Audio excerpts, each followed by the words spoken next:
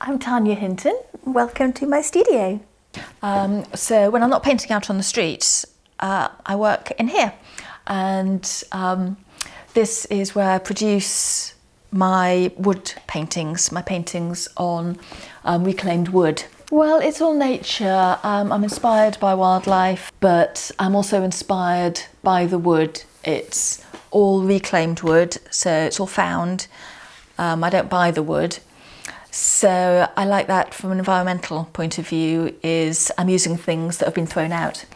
It's all been pulled out of a skip, um, yeah, thrown away or donated to me. So I'm just starting this piece now, which you can't really see exactly what it's going to be, but um, it's a fox and drinking from water. So I use the wood as a ready-made landscape. So the grain of this wood to me looks watery.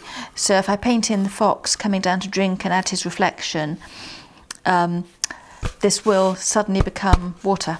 These are painted by Nick Andrew, my partner. Um, we share the studio and he paints local scenes. So all these scenes depict the Wylye and the woods sort of behind our studio, so Southleigh Woods. We're working on a shipping container which is based in a pub at Heytesbury, the Red Lion pub. And they had this old shipping container, you know, great big rusty thing, and it's in their pub garden. And it doesn't look very attractive, but they don't want to get rid of it. So they asked if we'd paint it.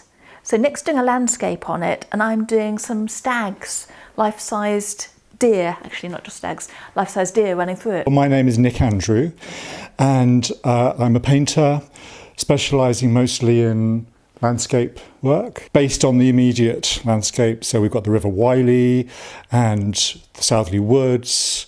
So all the kind of landscape I like that I can walk to from the studio. Yeah. yeah, well, this is essentially Tanya's project, and I am basically just helping her out, really. So Tanya is doing some deer, and I have provided the, the landscape in the background. The thing about the shipping container is it's corrugated. So what I did was painted some beech trees on the bits that are coming out. So it gives it a kind of a three-dimensional feel, three-dimensional quality. We had a container, we moved up from Somerset and we had a container to put some of our household stuff in. And it was sat in a garden and a few people were sort of commenting it wasn't the prettiest thing in the world. So we started looking at different options to um, what to do with it. And it, we were going to clad it with wood and then we were going to cover it in hemp and then Tanya was doing all these beautiful artworks in Warminster and we sort of had the mad idea of maybe she'd come out and do a scene for us on this container to make it like sort of more child friendly and nicer and something more attractive in the garden. Oh, we love it. I mean, after the first day, and she just sort of just started, and we were just like, no, this is definitely the right thing to have done, and it does look really, really beautiful, and we are really, really pleased with it.